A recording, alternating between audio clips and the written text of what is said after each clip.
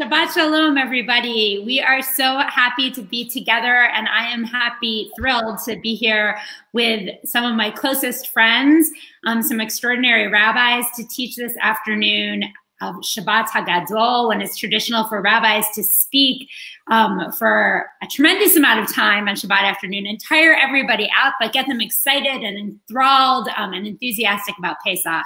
And so we're um, we're really excited to be able to be here together today. One of the things that we were just remarking about uh, when we were speaking together is that while there are so many challenges in this time, being away from each other and not being able to be together and sing together and hold each other and comfort each other in real life the um, opportunity to be with people who are very far away and bring Torah together um, because we can't be with anybody who's close um, is an opportunity that we're all trying to seize. So it's uh, even in this time that's really, really challenging and really heartbreaking in so many ways um, being able to connect with the silver linings, I think, is so critical and important. Um, so thank you all for being here today. I want to um, just introduce my friends and colleagues who are here, and we thought we'd go around and begin by uh, introducing ourselves and just saying um, a few words about how we prepare for Pesach and what makes us feel most prepared, and maybe even particularly about what is making us feel prepared for Pesach this year.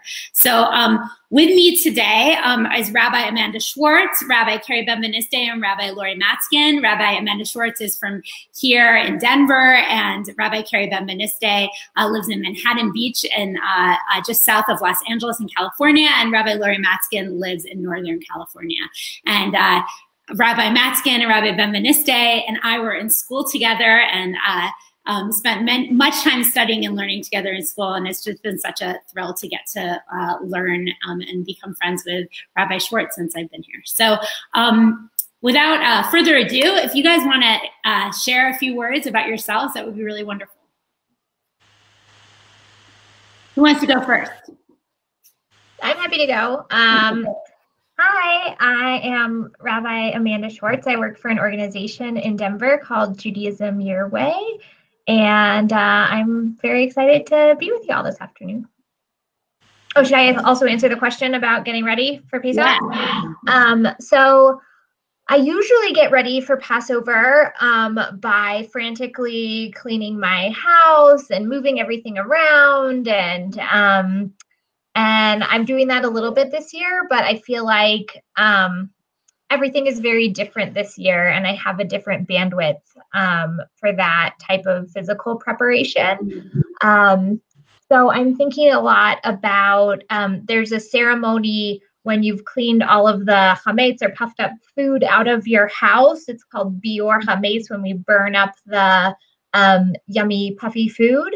And um, after um, during this, we recite basically that um, all the chametz in my possession, which I haven't removed or that I'm unaware of, um, it's as if it's the dust of the earth. So it's this moment of kind of letting go of saying I've done my best.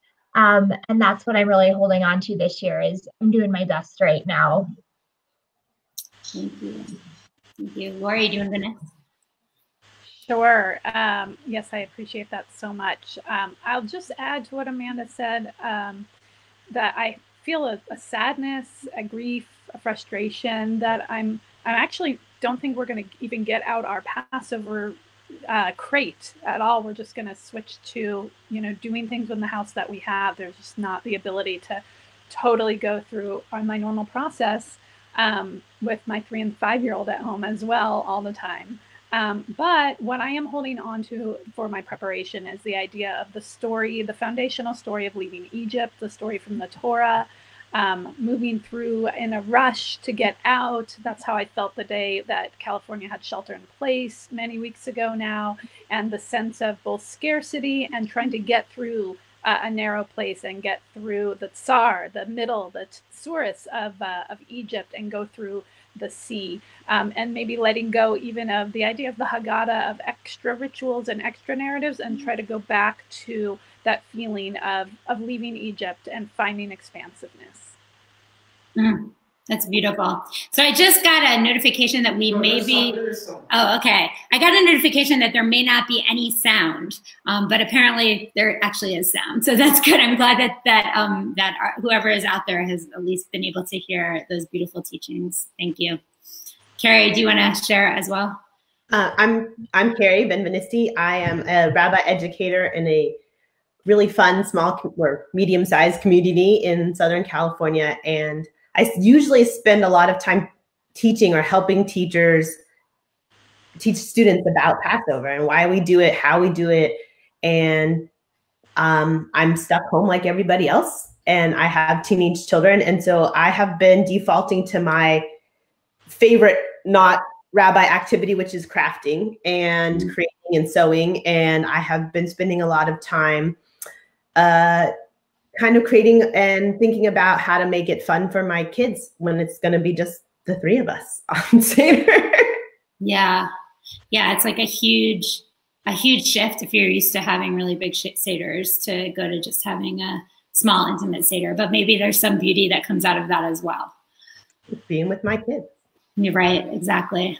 Um, so I think I would answer that um, by actually the, my own question by saying that um, just being able to be here with you guys today, I think is really a nice way to prepare. I think sometimes thinking about pieces of the story and thinking about pieces of the Haggadah and thinking about um, aspects of the Seder that speak to me each year and really pulling them out and figuring out what um, like what ultimately will be my focus point for my heart in each year um, enables me to feel a little bit more prepared for taking it all on. Uh, certainly, like koshering the kitchen and push pulling all my stuff out, like that does too. But in truth, um, that's also not.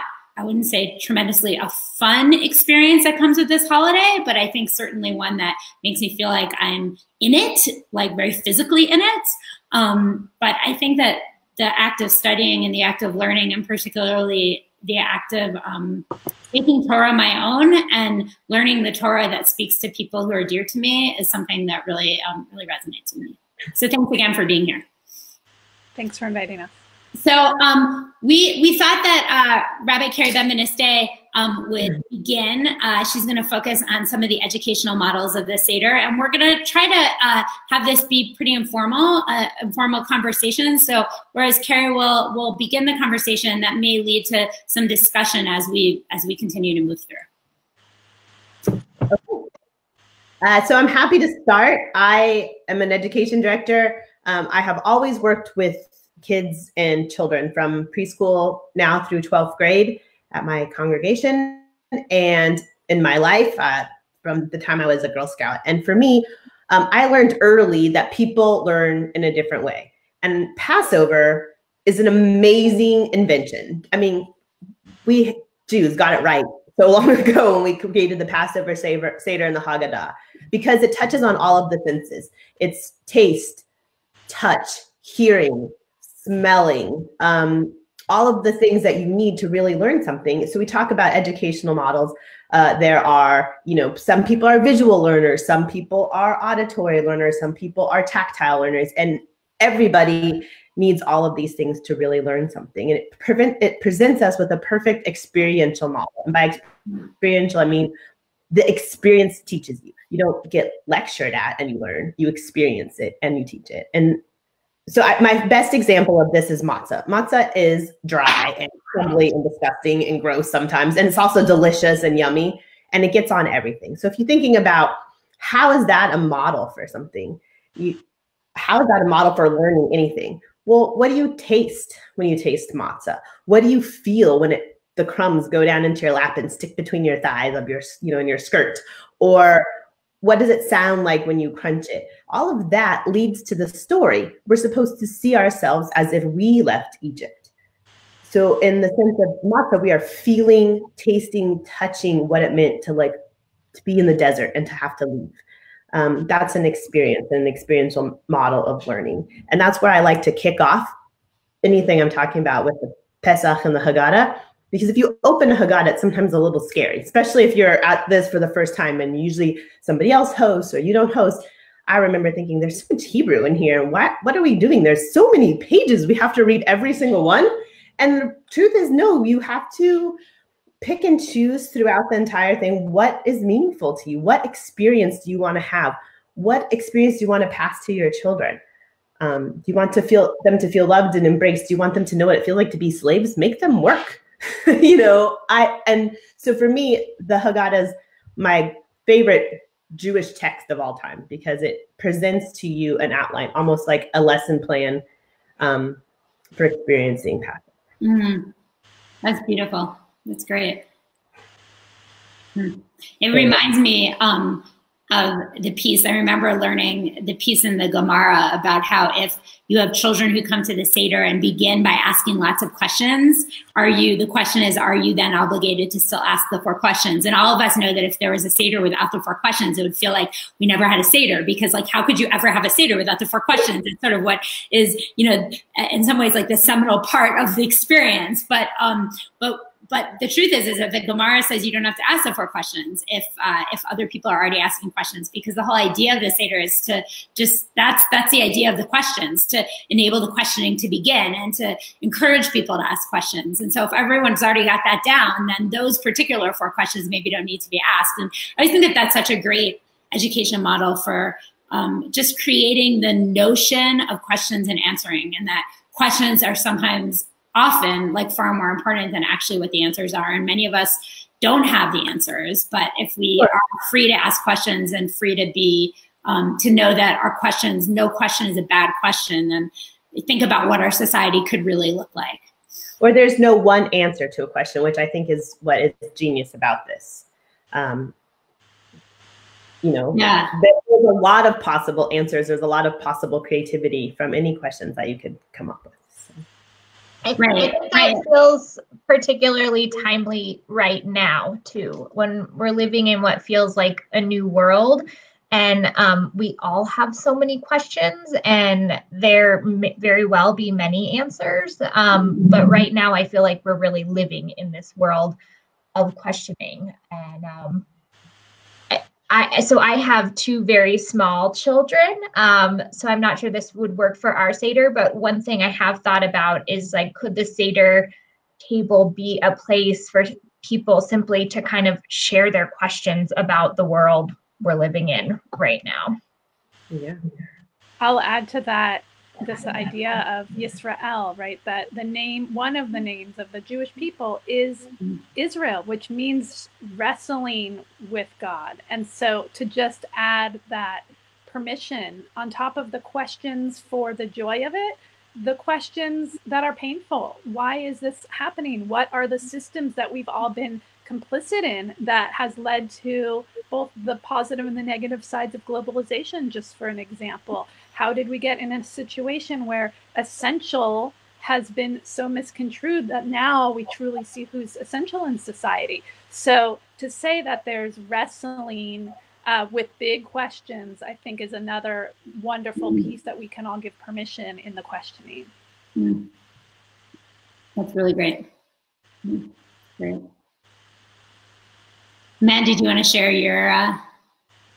Yeah. So um, as you as you mentioned, um, we if you read through some rabbinic texts about the Seder, we know we don't actually need to be asking the four questions. It's really like a setup for kids who don't know how to ask questions. You teach them to ask these questions. But similarly, for most of us, the Seder would feel like we missed it if we didn't ask the four questions that are in the Haggadah. Um, and I was thinking about the um, one of the four questions talks about um, reclining. Um, and I, was just curious to start out like, what what do you guys make of reclining? Is this something you do in your homes, in your seders? Um, I think in recent years more so. Like in recent years, it's become more of a thing to like, you know, have a pillow at the Seder and to certainly like, you know, when you're drinking your wine to recline to the left, which maybe looks like the right on this because it's kind of a mirror image on our screen. so if I, re- I'm now reclining to my right, but it looks like I'm reclining to my left. But that whole notion and, and also to, um, to pour wine for other people, right? Sort of fitting in with that like idea of reclining and helping people. I love this. Normally, we have so many people at our house and we squeeze in tight, so reclining isn't really an option. Except whenever we read the line for, you know, the recline to the left to drink your wine, the kids always get a kick out of like laying on top of each other and wiggling and giggling. And I love that aspect because it's like um, that comfort you take in the closeness of other people. So it'll be interesting to see this year what happens. Yeah. What about you, Lori? Well, I'm thinking about how many of us are zooming from our beds or zooming. I not try and oh, pajamas. But the original chair I was gonna uh, uh, be on this call from was the nursing chair, right? So like to be in this rocking chair and to be working, it's it's an interesting question of how do we show up and be present, especially as leaders and family leaders with the children, with those who don't know how to ask and also allow ourselves to be comfortable and allow, as you started with, Amanda, all that work to pay off and to say, whatever it is, it is, I'm reclining into this moment. It might look different, it might be joyfully different mm. or frustratingly different, but sort of re- reclining into the present moment. Yeah. I love that. I, love that language of reclining into the present moment. That's beautiful. Um, so we know that this idea of reclining was kind of adopted by the Jewish community from what they'd seen in in surrounding society of of Romans um, participating in in symposia, and it had sort of a status element that only people of a certain status um, could recline and and when you read the Mishnah, it starts out as very egalitarian, saying that like everyone at the Seder has to recline. And then when you read further in the Gemara, it becomes less and less equal, saying that um, women actually don't recline because they're not really free people, even if they're at the Seder. So I particularly love that it's for women right now um, leading this conversation. Um, but I was just thinking about kind of I don't know how we eat normally in in society and and also kind of so hierarchies and um I don't have this fully mm-hmm. fleshed out, but I'm just thinking about how we might bring that into our seders this year and um I know that even over the past couple of weeks as I've done more and more over over Zoom and um I've noticed like spending so much time in front of the computer, it's felt like actually physically really bad on my body. Um, and uh, just thinking about like how might we change our posture at the Seder this year, whether that's like doing some stretching to like relieve the the computer kinks that have developed, or um, maybe it's not if we've been spending a lot of time sitting since this night is supposed to be about doing things differently, maybe like we should be standing at the Seder. Um, mm-hmm. or maybe it should, you know, maybe if you don't have much time to relax in bed, maybe your Seder should be for your bed, from your bed. Um, we actually mm-hmm. never got around to taking down our sukkah this year. I mean, the schach is down, but it's basically like a pergola in our backyard. And um, we're actually thinking of trying our, our Seder out in the in our uh, Sukkah, this is like a way of really making the night feel different. And um, I was curious to hear from you guys if there are ways you're thinking about whether it's like physical posture or where you're doing your Seder in your house about how to make it feel different this year. So it's funny that you asked that because just yesterday I was recalling the various Sedarim that I've been at where um, furniture was moved and everyone sat either on couches or even on the floor and um, sort of around a tablecloth that was on the floor. And maybe even the meal itself was eaten at a dining room table but all of the all of the pieces before the meal um, were done really relaxed um, on a carpet and uh, i was thinking about that in my own home and thinking about oh well maybe we should really set like really set it up in the living room instead of in the dining room um, because maybe that really it, that does bring it out more in a sense. Yeah, and I imagine you couldn't normally do that if you had 20 people at your house for a Seder, and this year you have room. yeah, absolutely. Carrie, you are muted. I've been keeping myself on mute because I'm a very noisy bird in the background. I was love your question because I was actually thinking um, instead of doing it in another part of the house, which is what we usually do, you know, move the furniture and tables, like you said. I was thinking we should just do it at the kitchen table, in the kitchen where it's nice and warm and cozy and just mm. And I was thinking how that would be so different than our usual running around and prepping and like getting out all the fancy tablecloths and the extra silverware and the extra leaves in the table. And that could be really fun. Yeah. And again, you probably, like you said, you wouldn't normally do it that way. So it's uh, totally different. Yeah.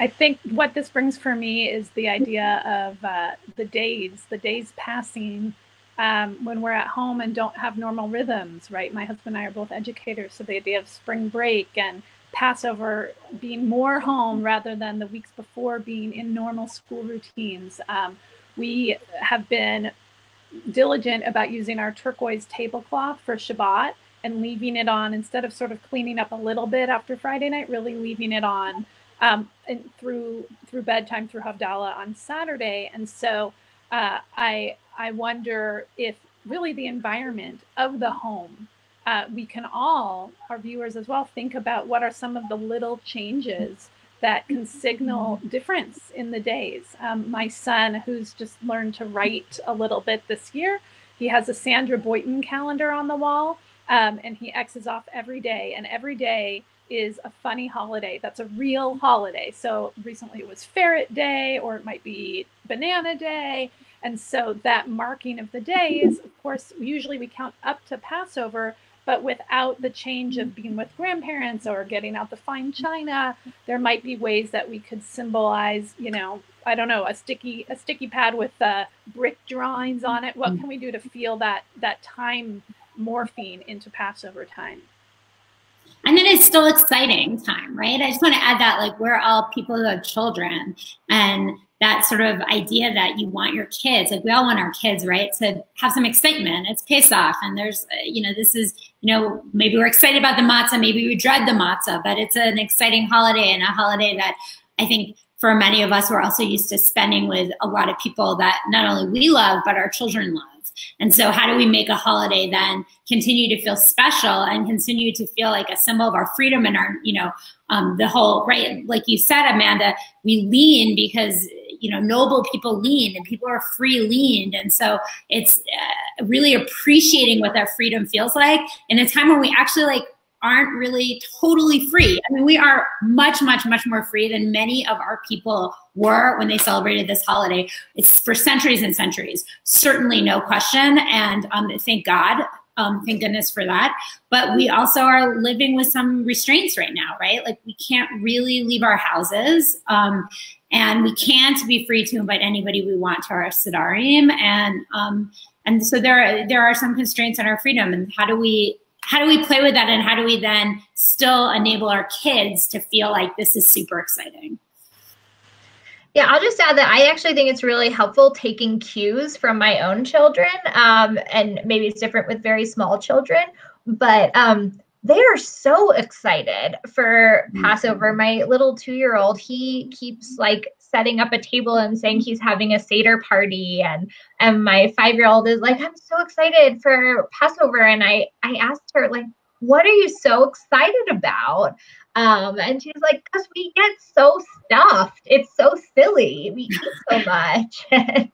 um, and he's a kid who likes silly, which is awesome she's a kid who like who holds joy, which is something I think also like Pesach is a holiday that's about right reflecting on our pain, but holding our joy in a really real way. And she's somebody who like just and you know feels joy and emits joy, right? yeah. So I think um, as usual, like kids can be our best teachers on on this, on how Passover is still so special this year, even when it's so different. Really nice. Thank you. Thank you. Lori, do you want to share? Well, this conversation about who are we used to having Passover with brings me to the question of Elijah and Elijah's presence uh, at the Seder. So uh, this is this is a, a, moment we're fast forwarding right towards the end of the Seder. Um, and Elijah, Eliyahu Hanavi, his cup comes basically as the fifth cup. We think there's four cups and four children and four questions, but we actually have a, a secret fifth cup. Um, and we open the door and we sing this famous song that is mm-hmm. also sung at, at Havdalah at the end of Shabbat. And we see if Elijah the prophet can come visit our Seder. A little bit of background about this character. Um, he he was a real prophet in the Torah in the Tanakh. Um, he was very unhappy with the level of observance of the Jews of his time. He didn't feel like they were holding on enough to the traditions, whether it was circumcision or or their not Jewish enough names or just their general Shabbat activities. And he was just railing against them, fire and brimstone. In fact, so fire and brimstone that he goes up for his non-death. He goes up in this chariot of fire, and the rabbis take that to to believe that he's kind of never died and he kind of roams the earth. And um, he can come to be comforted at a child's bris, at a baby naming or a circumcision ceremony, um, to every Seder, to these different moments, to the end of Shabbat, to say, okay, the Jewish people are still holding on to their values. They're still, you know, engaged in these rituals. They're still teaching the next generation a really beautiful, famous line uh, from Malachi says that when Elijah comes, the the parents' hearts will turn towards the children, and the children's hearts will turn towards the parents. So it's actually this moment of ultimate teshuvah, right? It's like this Yom Kippur reconciliation that we have at the end of the Seder. And um, Amanda, your your kids sound lovely, right? And and we're also stuck at home with with these little people who have a lot of different needs that not every parent can meet every need of every child in every moment, right? There were teachers, there were playmates, there were a lot of helpers in their life. But so I'm holding on to that goal of um, turning towards each other by the end of the Seder and also saying, what does it mean to open the door? How can we visit? Maybe we can count the doors in our house to start with and think about who comes in and out of them. Um, maybe we can open our, our phones and our Zooms and our text messages and visit with people who might not otherwise um, be on the top of our list. And so I think we can bring this idea of visiting each other and have Elijah be comforted by the way we are reconnecting this Passover. Mm. It's really beautiful. I actually was thinking about this this morning. Um, I spoke a little bit about during our morning service about Elijah, and I was thinking about the idea that, like, as a kid, this was like the scariest part of the Seder for me. I mean, I don't know. Do you guys remember like going to the door? And I remember being in Watertown, New York at my grandparents' house and like going to the door. And I never wanted to do it alone. I always wanted like one of my cousins to come with me or my brother. And um, cause you know, maybe Elijah was there. And then what would happen and what would I do? Right. Even though we really wanted Elijah to come, but that notion of like opening the door for Elijah and that idea that, um, like, if we really believe that Elijah's presence could be felt at our Seder, certainly Elijah wouldn't need the door open for him. Um, but we need to open that door, right? And that fits in with what you're saying, Lori. Like, that's actually that's something that we need to do. Like we need to be active in bringing on whatever kind of redemption we imagine is possible. And we also um, need to think about what it means to consistently open doors, which are so symbolic in our lives with the blood on the door and the mezuzah on the door. And, you know, doorway is being such a, a, an important piece of what it means to be Jewish. Anybody else have any thoughts around about that? Think Carrie's unmuting herself.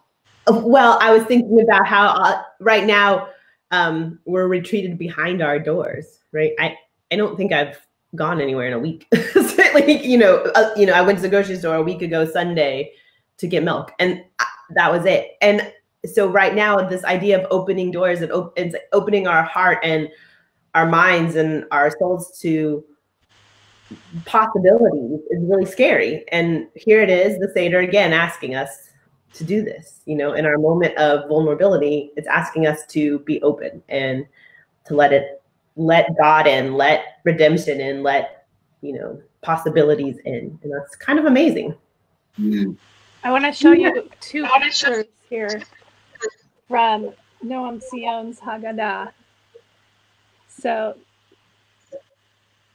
the this family is all ready to uh, to go in and out of a door and bring bring Passover to life, right? And yet, we also have this situation, right, where we have somebody on the outside looking in at, at the privileged person who's basically reading about leaving Egypt, and then the person who's not have resources is behind that window. It, it reminded me also there was a picture on social media of a, a dad who was a doctor playing like tic tac toe with window uh, paint with his toddler outside his own door. And so the question of access and isolation and quarantine, right, is also very real.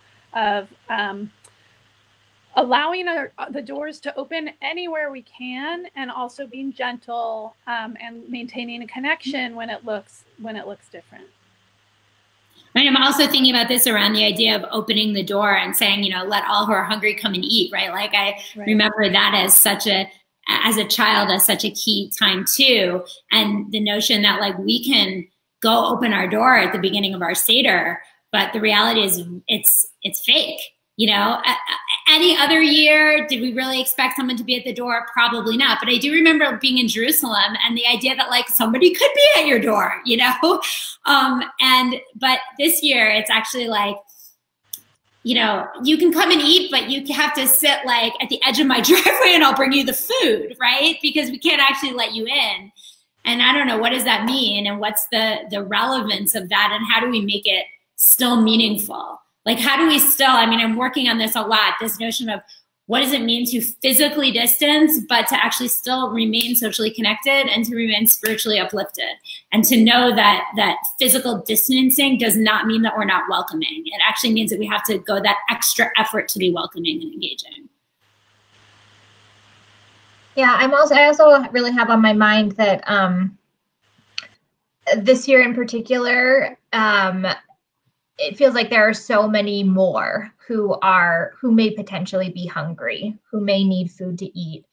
Um, and so uh, how can we for those of us who have access even if it's limited like how can we give more than usual um, whether that's like physically making a donation taking food to a food pantry or making a donation online of like how can we embody that act of ensuring people who who are hungry and looking for food have have food to eat.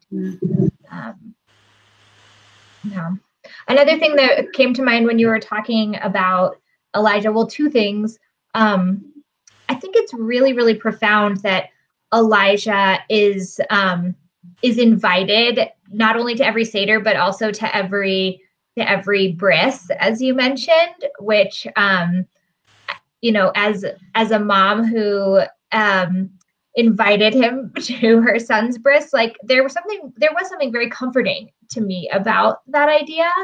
Um, and uh, in this time that feels kind of scary, I think it's really powerful that we're all inviting Elijah in for this for our seders, whether it's one night or two, and um, that this sort of like mythical comforting creature is is going to visit all of us when none of us can physically be together. Um, and then the other thing i'm thinking about is my kids love this book that i think is called not yet elijah and it um it has elijah waiting outside the entire seder and the refrain is like elijah please not yet um and i i think this story just tells a lot about like patience and how hard it is to be patient. Um, and I think that's something very real right now that we're all needing to be very patient. We have no idea how long this situation is is going to last. Um, and and just trying to have as much patience as we can and digging really deep into that well of patience right now is so important. Mm-hmm. Amanda, that's such a wonderful word to bring in patience. Uh, one of the Haggadahs, I think it was Aryeh Ben David, noted that Moses' name is not mentioned in this whole Haggadah, right? We talked at the beginning about the Torah story and the Haggadah and the rabbi's version. And, and Elijah becomes this household name, right? This character of comfort that we know we're going to have a connection mm-hmm. with. and yet Moses, who's uh, both infinitely patient and extremely impatient, uh, who leads us through that experience, is no longer the primary uh, protagonist. So I'm curious what you all think of of that hmm. contrast.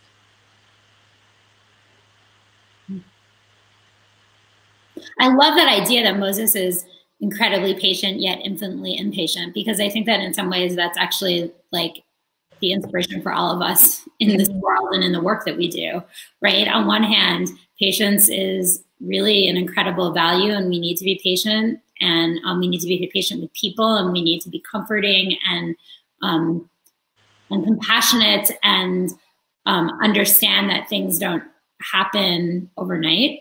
And on the other hand, if we're not like radically impatient, nothing will ever get done. And so, like, we actually have to always feel like there's fire under us and we're always moving forward. And we have the impatience that will move us to make our world better and make, better and make our communities better and um, make, you know, make this world what we dream it to be, as we often say. And that doesn't happen if we're too patient. So I just kind of love that idea that like you can be both patient and impatient and be the same, and that can be in one person. I'm like imagining that right now for well, both. that embodies you. You know, we we were ordained uh, almost 11 years ago, and we've founded a Minyan together. I've watched you in I think three different, three or four different communities. I'm as you were saying this, I'm imagining uh, the the videos of you in front of the ICE, um, you know, protest doing mincha, and always making sure that that fire for prophetic leadership is there, and yet your pastoral presence is so patient. So you, you're our, you're our Moses. Thank you for your leadership. I would not go that far at all, but that's very kind.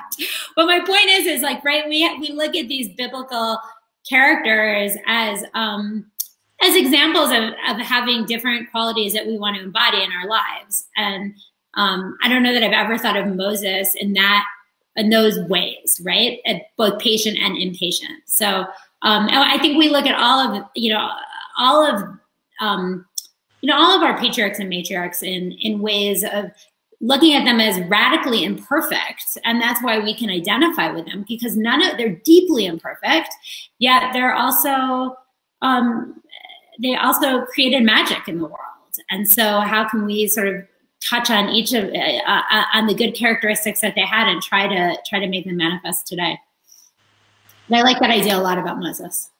Elijah too. You go back to uh, to the Tanakh, to the Jewish Bible. The stories are not very appealing, right? It's only who he's become in our collective myth that he becomes this this comforting purveyor mm. of connection to the past. Hmm. Lori, you had another topic too, yeah, that you wanted to talk about? Another piece from the Haggadah? You'll have to remind me. What were we? I'm not sure if I remember either. I think it's something about matzah as both bread of affliction, the symbol of matzah. Yeah. Okay. So we're going back to the chametz and um, chametz and matzah contrast. Yes.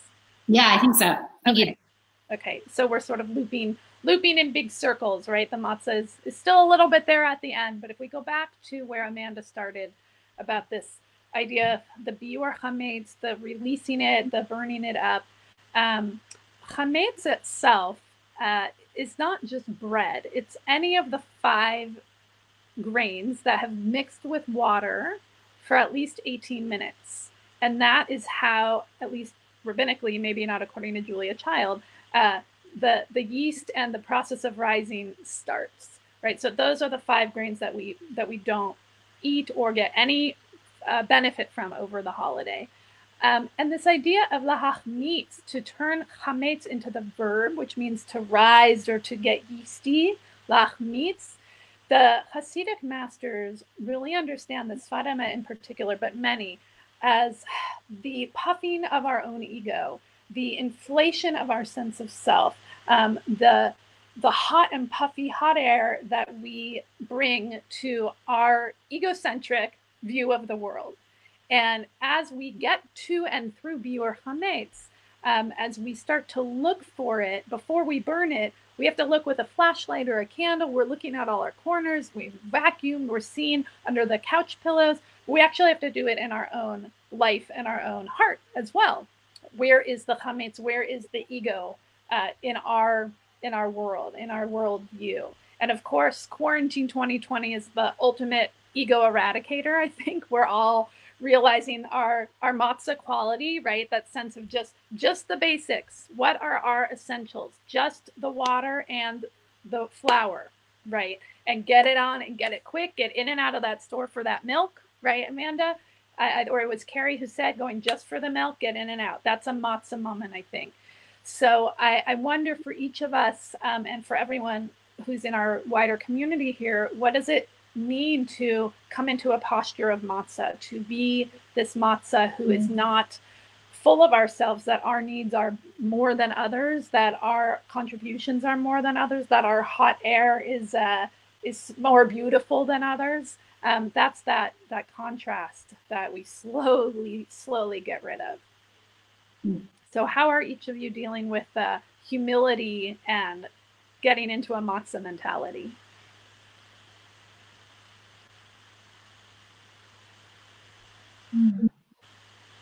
Unmuting. All of you are mothers. I think that most of you, you probably have a really good sense of humility and being matzah because what, even with teenagers, I I can't fix it for them. I can't make eighth grade culmination come back. My daughter's just not going to get it this year. And that is really hard, right? That puts you in the moment when you are no longer the one who can fix the boo boo and make it better, you know? And I think that's very humbling on the one hand and also very much part of what we're doing now. So that's what I was thinking when you said.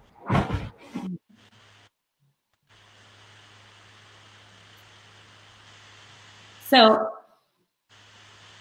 I like to think of, um, you know, it's about a half a year since Rosh Hashanah and Yom Kippur. So there's the connection that we do this sort of tshuva work and this sort of emptying out of ourselves and, you know, going through all the things that we did wrong when we throw our bread in the water. Mm. And then about a half a year later, it's like we're doing it again, sort of um, or we have this opportunity to do it again. And I think that that's what that beautiful Sfat Emet teaching suggests for us that like actually in this last handful of months, you know, we got ourselves down so that we were like matzah and we were humble at Rosh Hashanah and Yom Kippur. We threw all of our bread in the water and now we have expanded again and now we have to do it again at Pesach. And um, it's something that we maybe don't think about so often that this is a, a, piece of the Pesach story, but it is a piece of the Pesach story. And part of that symbolism of, of the sort of bread of, of our affliction and also the bread of our freedom. And, you know, this bread has, this particular matzah bread has such deep symbolism on so many levels. It's so interesting what you just said because it makes me think of Tzimtzum for the creation of the world, right? Like God expanded and shrank and expanded and shrank and expanded mm-hmm. and shrank in order to create mm-hmm. space in the world for creation and what is new, space in the universe for what is new. And it's like as individual human beings and as a community, we expand and we have now we have to shrink. Um, we put out in the world and now it's time to like shrink and see what happens. And in order for there to be creativity and for the order there to be growth, you have to go through this process. And it, perfect for spring, right? Mm-hmm if we're going to bloom, we need to make space for that bloom. Mm, right. That's that's great. Been making space for ourselves to bloom means stepping back. No. Yeah, I love I love this idea so much that you um, put out there of of how are we matzah. Um, and I have a lot of thoughts about it, but one thing I'll share is um, so in uh, in Colorado, Governor Polis um, is encouraging. This just came out yesterday, but he's encouraging everyone whenever they're outside of their homes to wear uh, a homemade mask. Um, and so today, when I when I walked my dog, I wore one. It, it's the first time I've worn one, um, really for an extended period of time, and um, it was just such a shift in how I normally behave in the world. Um, and I, I saw two other people wearing masks when I was walking, but I saw a lot of people who weren't. And I also could feel them staring at me. Um, and it was really a, a, humbling moment of like going out and looking very different in the world. And I imagine next week I'll probably see a lot more people in masks than I do now. Um, but it really was a moment of like, yeah, I felt very insecure. And also, I really felt like it was a matzah moment of, of I was kind of contracting my own ego for the sake of of the better good and um, for the mm-hmm. sake of of being a role model and doing what our governor, a role model, is is asking that we do right now. Mm. That story gave me chills. mm. Wow. So I was actually gonna, in my um, thinking about two sort of highlights of this holiday for me, I was gonna touch on um, some of what you just touched on, Lori. It really ties in nicely the idea of the search for hametz. And um, so when I was in rabbinical school, I was in um, a class where we were looking at the Shulchan Aruch, and um, it says very specifically that in the depth of night, you should take your tiny little candle and search in the crevices of your house for your last pieces of hametz. And I think this fits in so so beautifully with what you were saying, Lori. Um, what touches me so deeply about this is that it's not saying bring a big torch and it's not saying do it in like the sparkling light of day. It's like do it in the depth of the night and take a candle, a candle, like a very gentle, tiny flame and search in the smallest parts. And so it's it's it's a similar idea to this this notion that this hametz is symbolic. The the hametz isn't just bread that's left over. This is the the swollen pieces of us. And so if we do that in the broad light of day, or if we do that with a big wide torch, that can be damn scary. Um, because everybody's watching and because we're shining a huge, huge light in on the things that we might be least proud of, our insecurities, um, the places where we feel our own deepest pain, uh, maybe the spaces where we have caused other people incredibly deep pain. And if we really want to look for those spots, we can't do it with a big torch. We actually need to allow ourselves to do it with a very small, gentle candle.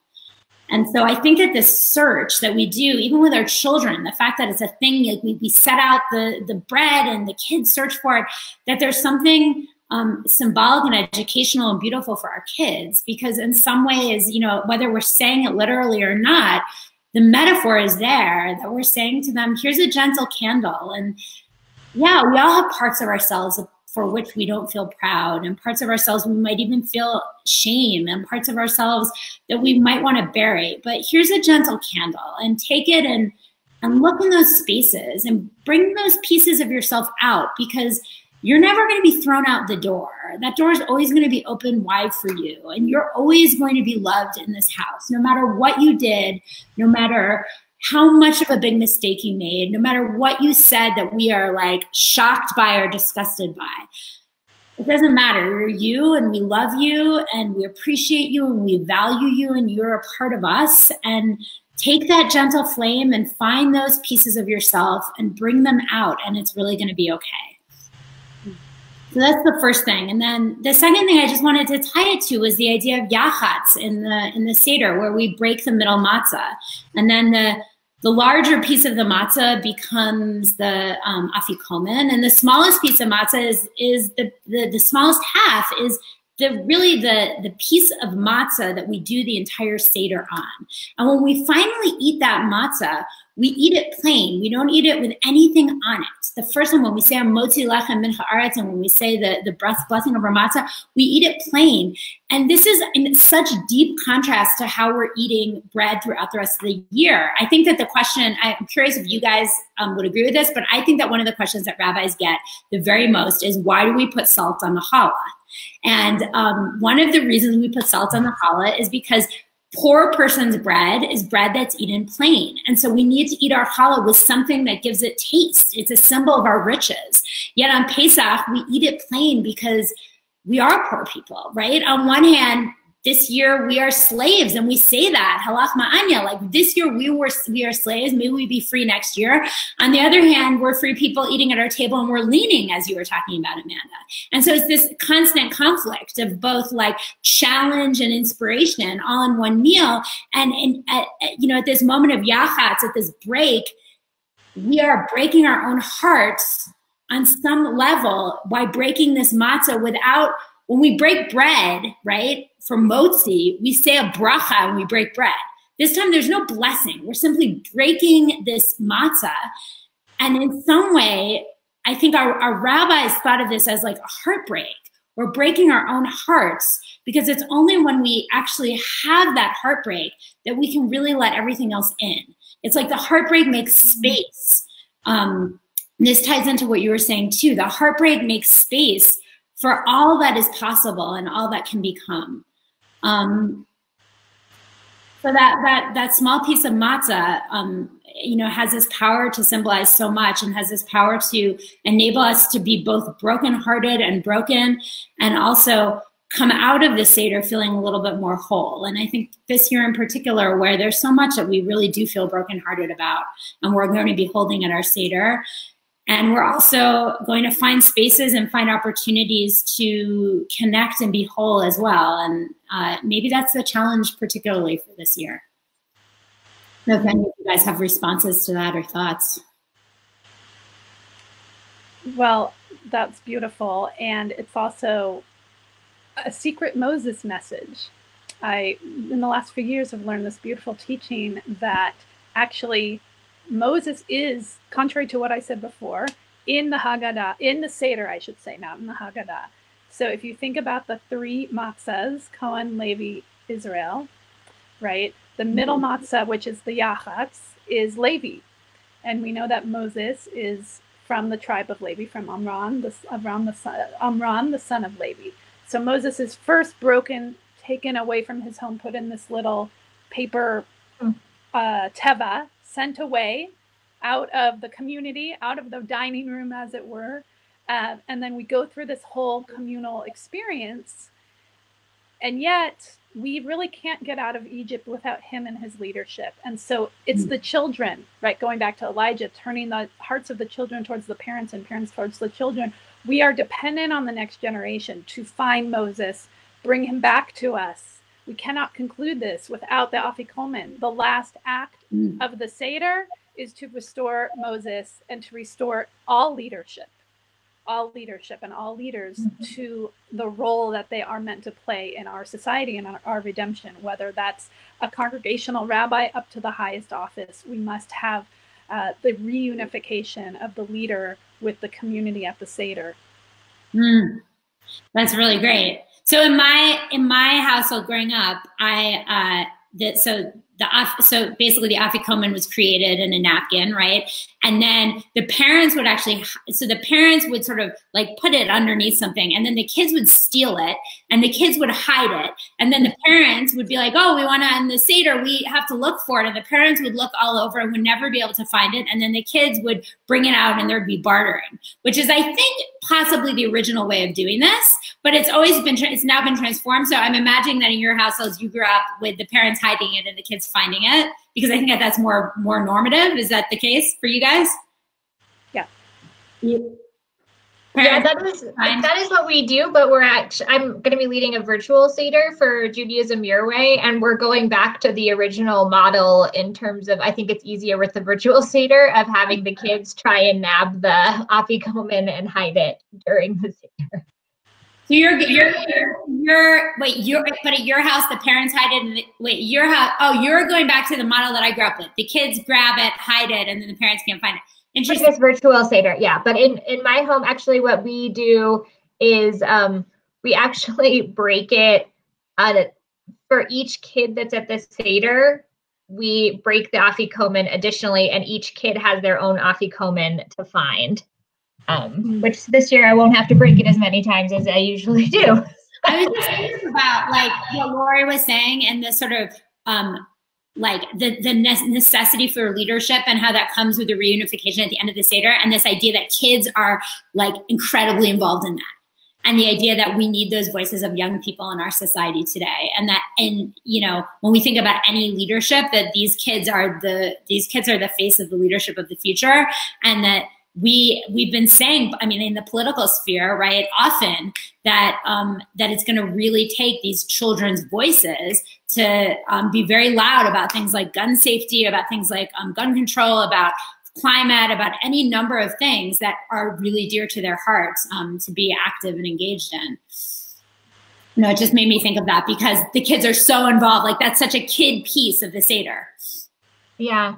I, I when you were speaking, Lori, what it made me think of was yesterday. Um, I had my first experience leading a, a virtual Shabbat sing.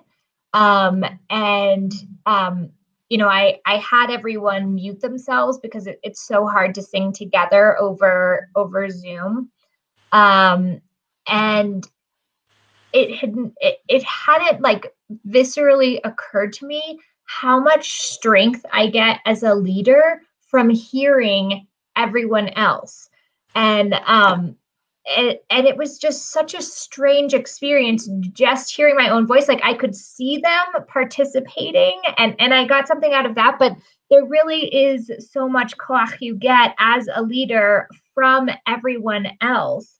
Um and and I, I just think it speaks so much to what you're saying that like yes we need to establish a leader but we can't do that without an entire community bringing their voices too mm-hmm.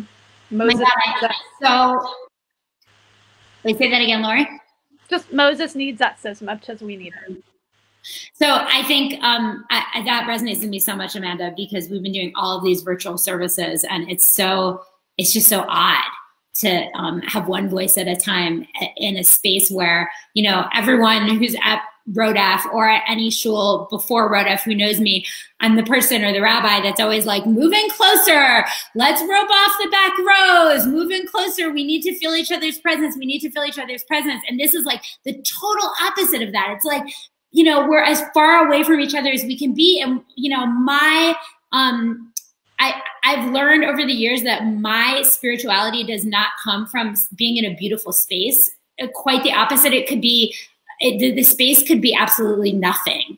Um, what creates a space for me is the acoustics and the feeling of song around me and hearing the voices, like really literally hearing the energy and feeling the energy that I get from being close to people. And now we're so far. Um, it's it, it, like it's a painful reality how that distance feels. So I really appreciate you mentioning that. And it's going to be interesting to see how we come back right? And i think that that's one of the sort of fears that we hold now. And i think it's it's okay and important to name those fears. Like when we come back together what does that look like? And how does that look? And how quickly will we be able to be close to one another? And um and what, what will that feel like? And and um and when will that be safe um because being far is really hard so i don't know if uh, do do you guys have a last word? I think that that would be really wonderful. And then we're going to move into a prayer component of our afternoon, and we'll do a little bit of davening together. Any of you have a last last thought? And The word that comes up for me, Rahel, is just permission. Just if we can each give ourselves permission, looping back to Amanda's opening thought with the formula of burning the chametz, that it is what it is, zemashigesh, mm. as we say in Hebrew. And whether it's it's okay to not have 40 people on eight different breakout rooms on your Zoom trying to get everyone at the perfect camera angle. If your kids are burned out on screens, it's okay to just let it be the two, three, four of you. It's okay to connect more deeply. It's okay to wrestle. It's okay to go to the Torah text in the Haggadah or vice versa. It's okay to you know, have your meals not be uh, as extravagant. Um, we're we're all, and that's the beauty of the situation, is we are all literally, the world is in this together, and so. Um, I, I think that the intimacy that of being with all of you and being with the community um, and being so close, right? We we have gained something tremendous. And I do feel that we are walking through the sea together closely, right, on our screens. Uh, we we will stand together at Sinai eventually in seven, you know, seven and a half weeks, um, and I hope that we can give permission to just accept, uh, as one of my teachers says, accept the what is rather than focusing on the what if. Mm. Thank you. Yeah, I think what I'm taking with me, um, I really, I really loved this idea of Moses as both like very patient and very impatient. Um, and I think that's certainly something I've been experiencing um, recently. And when I've been in those moments of impatience, I've been really hard on myself. And I think it's very helpful to me to think about, oh, it's okay in my impatient moment, I'm having a Moses moment too. Um, and and in my moments where I'm able to dig deep into the patience well, that like Dom said, that's also a Moses moment, and that's okay too. Mm, I love that. It's actually okay. Sometimes it's actually good to be impatient, right? Like sometimes it's good to be patient, but sometimes it's actually good to be impatient. But right, both are very human. Mm.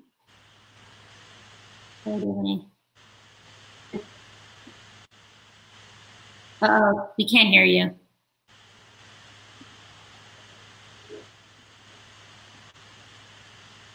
I'm thinking with me, one of the last things you said, I think, from this is um, uh, we need Moses as much as Moses needs us. I think Gloria said it, but from your teaching, our leadership, all of us are in leadership roles and and our leaders in general, I think they need us as much as we need them right now. Um, and that's the first thing that I'm thinking about now that we've had this discussion. And the second thing that I always say to people, and I think about Passover all the time, is just enjoy it. You mm. know, if you spend too much time getting bogged down in the details, you miss you miss the point. so yeah. enjoy it. Mm. It's really nice. So we began with just a statement about what rabbis um, often are known to do, and that is speak um, on Shabbat HaGadol. And it was usually a fiery sermon that was really focused on the kashrut of Passover to make sure that people had some fear. Um, and we hope that we're leaving um, any of you, all of you, with not a sense of fear, um, but rather a sense of excitement and a sense of calm and a sense of um, compassion for yourself and a sense of understanding and a sense of an opportunity for questioning. And also, maybe we'll go back to that idea a sense of patience and a sense of impatience and holding all of that um, and knowing that we all wish you a really wonderful Passover. And this will be a Pesach like no other, certainly. Um, and whether, as Lori said, you are on Zoom because that is exactly where you need to be on Erev Pesach, or whether you are simply in your home with immediate family members.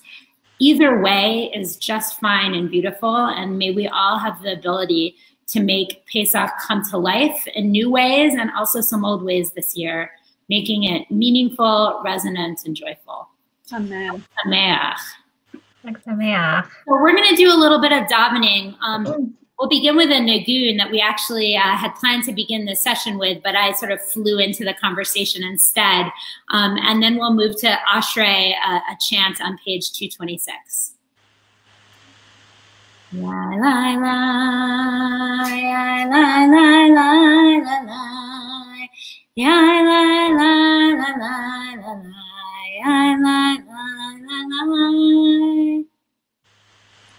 lie, lie. Lie, lie, lie, lie. Lie, lie, lie. Lie, lie, lie.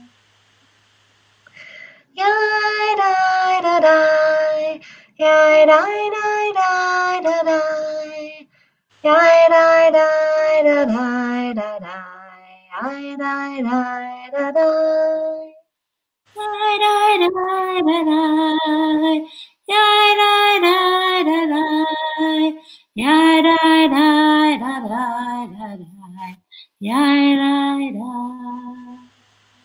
Ashrei is on page 226.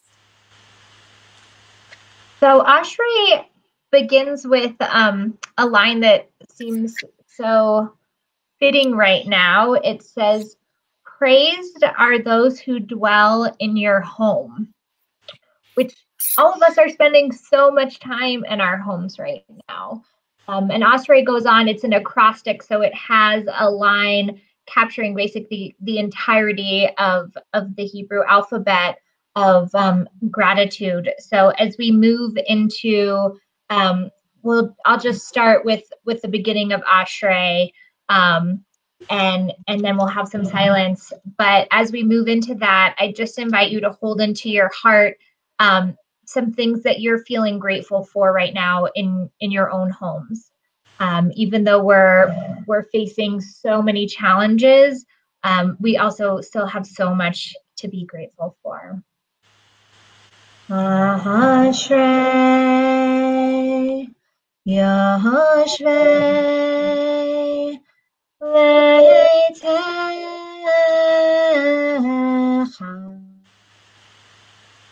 Hallelujah. Adi hallelujah.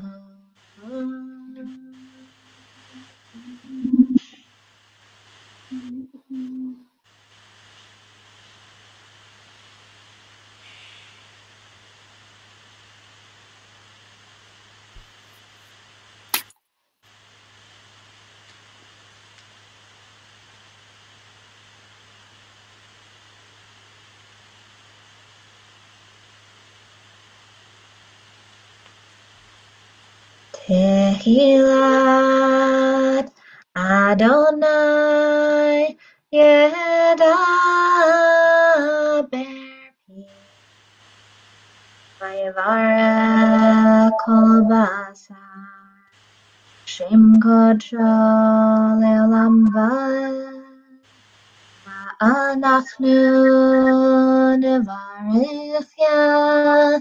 Be'ata ve'adolam. Hallelujah. Hallelujah.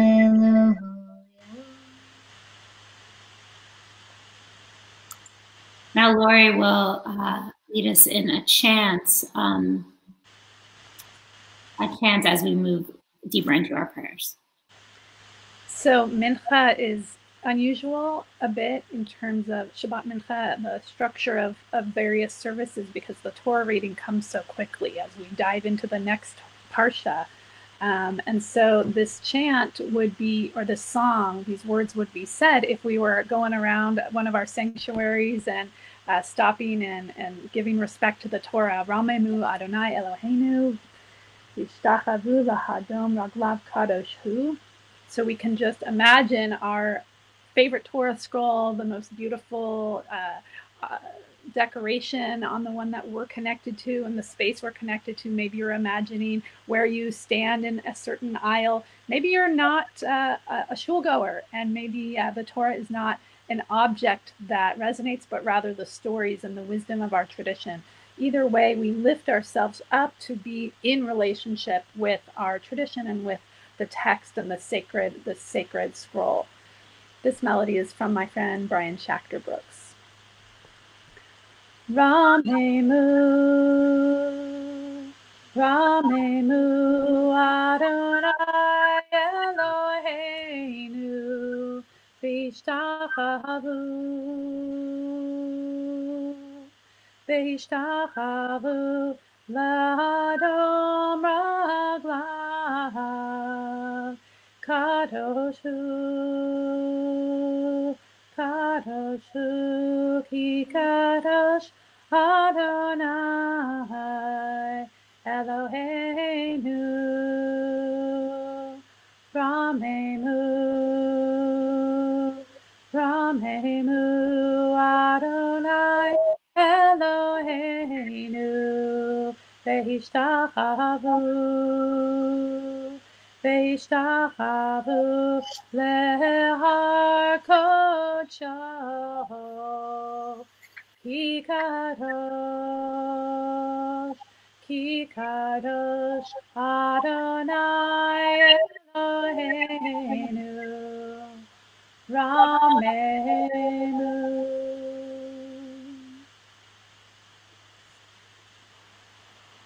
offering prayers for healing is such a central piece of what we are doing in these days. And so we invite Carrie to offer a prayer for healing for those who are sick, as well as a prayer for all of our healthcare workers. Dear God, be with my family and friends, bring peace to their troubled spirits, enable them to know that their love gives me strength. Help me to express my gratitude and appreciation to them for all that they have done and are continuing to do. Let them feel free to bring me their own joys and sorrows that I may continue to participate in their lives, even as they are in mine. May this also be a time for inner searching, that I may appreciate more fully the good and beautiful in life and labor to bring these lives and the lives of others. Grant me health and healing that I may carry out your peace. Then will my life reflect your presence and my love, your love. Baruch atah Adonai, Rofei HaCholim. We praise you, O God, healer of the sick. Mm. We'll offer now a guided meditation. If you would like to dive in the traditional Amidah, we invite you to do so as well. Uh, but Lori will lead us in a, in a meditation as we move deeper into our prayers. So often uh, we stand for the Amidah. It is La'amod, the standing prayer. I'm going to stay seated, and probably we will here on screen because we've perfectly adjusted uh, the cameras. But I invite you to stand if you like. If you want to stay seated, that's fine.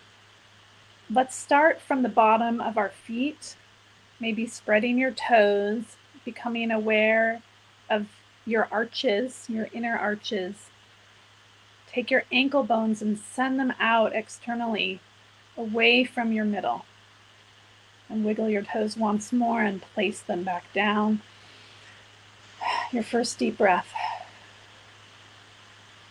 And imagine energy, chiyut, chi, prana coming up your body through your middle. If you're still sitting like I am, perhaps you feel your tailbone if you're standing, you notice your pelvis centered over your hips.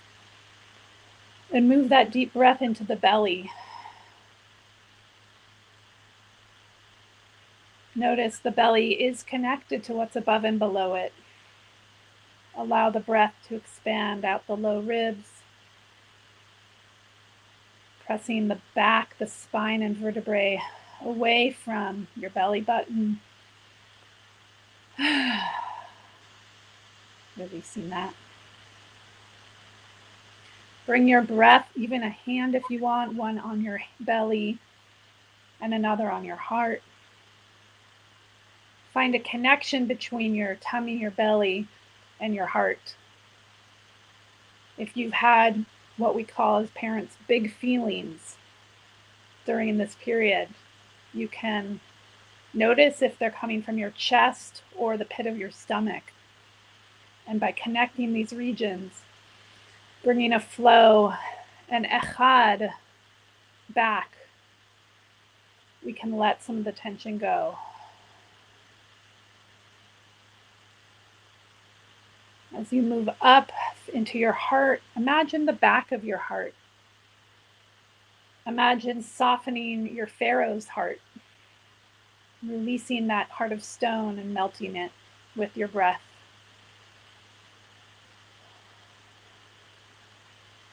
The lungs, the back, the shoulder blades open up. We remember we have shoulders. We remember to stop looking into our screen with our shoulders and our chin and our neck.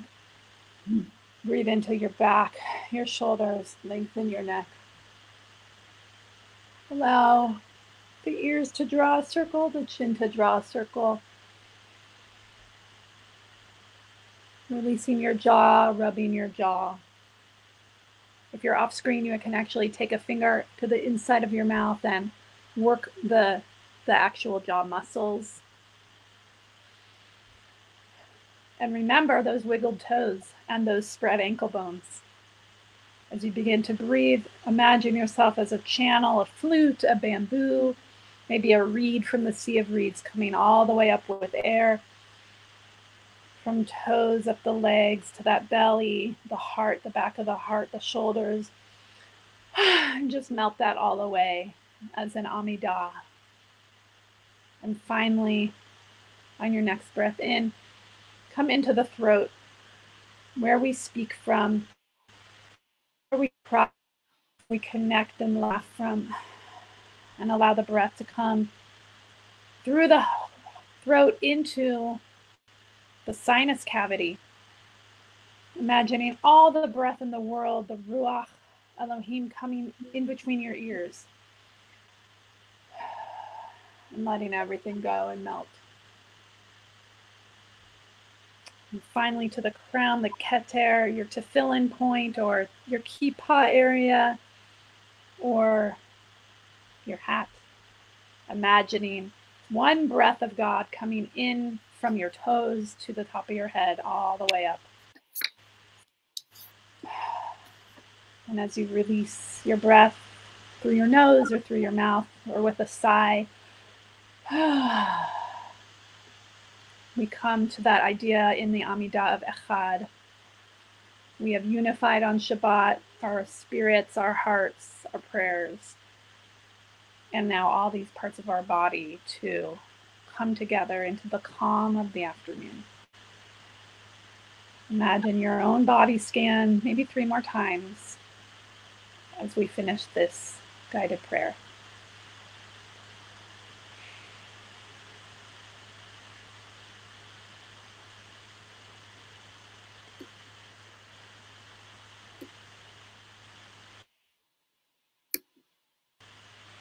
Oh, say bimroma.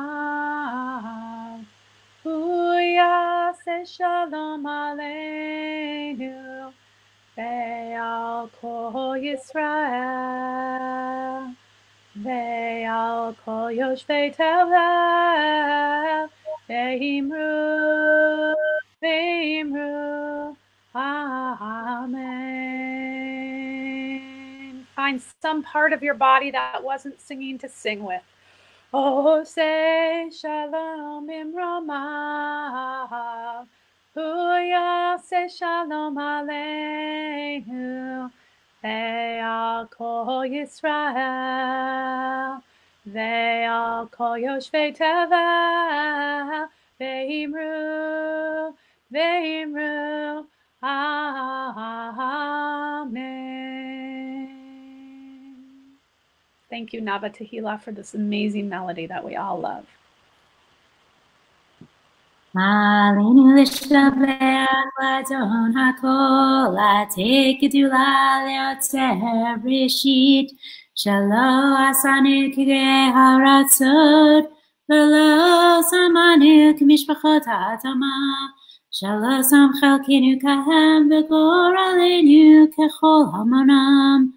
ואנחנו קוראים ומשתחווים ומודים.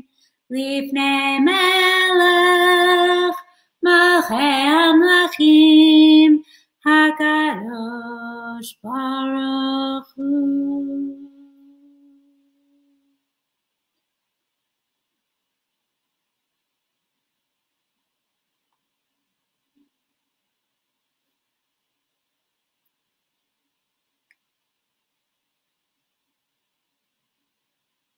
V'hashevota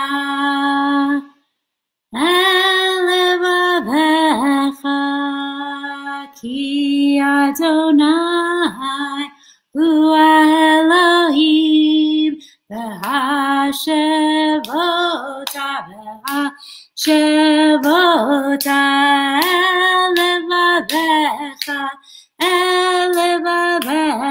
Kiat Adonai, Adonai, Hua Elohim, Hua Elohim, V'Hashavota, V'Hashavota, Elevavecha, Elevavecha, Ki Adonai, Ki Adonai, כי אדוני, כי אדוני, הוא האלוהים, הוא האלוהים, ונאמר והיה אדוני למלך על כל הארץ ביום ההוא ביום ההוא יהיה אדוני אחד ושמו ושמו ושמו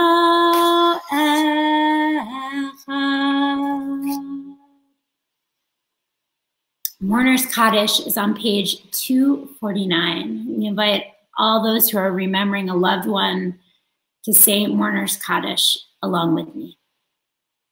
The responses for Mourner's Kaddish, I like to think of them as a virtual hug. it's like when we want to say to somebody, I'm here for you, I'm supporting you, I'm hugging you. And now we literally cannot hug, but we can say these lines as a means of support. We pray for a time when all of our hearts are united, when all of our hearts, broken hearts and whole hearts, when all of our hearts are able to be together and to hold up all those who are mourning and all those who are hurting. Yit gadal, v'yit gadash, shemei rabba, v'alma divrach yurte, v'yamlich malchute, v'chayachon, v'yamachon, v'chayed chol beit Yisrael, v'agala, v'izman kariv, v'imru amen, yehe shmei rabba mavorach le'olam omei omaya, v'yitbarach, v'yishtabach, v'yibar, v'yitrumam, v'yitnaseh, V'yitadar, v'yitaleh, v'yitalal, shmei tekudasha barichu, le'ela min kol birchata v'shirata, tushbechata v'nechemata, da'amiran v'yalma v'yimru amen. Yehe shlama rabba min shemaya, v'chayim alenu v'yal kol Yisrael v'yimru amen. Oseh shalom b'mromav, hu ya'aseh shalom, alenu v'yal kol Yisrael v'yimru amen. Ya la la la la la la la la la la la la la la, yai la la la la. Hi, die, die, yai, die, die, die, hi, die, die, hi, die, die, die, die.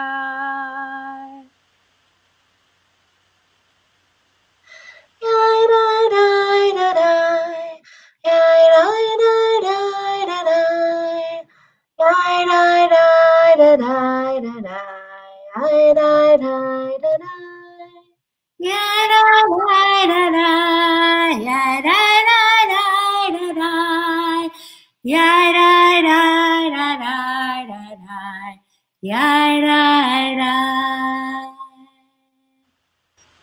Thank you all so much. Thank you. It was so good Thank to be you.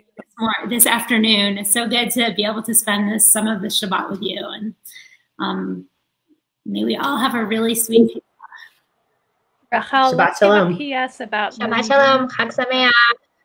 PS about Let's give a, a PS that the nigun, the melody we just sang, is actually the words are Ozi v'zimrat ya Adonai li shua, which is from the song sung when we cross the sea, when we get to the other side of the sea, the same source text as Mi Chamocha for the shulgoers out there. And so this really is a blessing, and I think and we chose this so that we could see each other on the on the other side of the mine, going through the narrows and getting to the expanse, so we could sing hand in hand.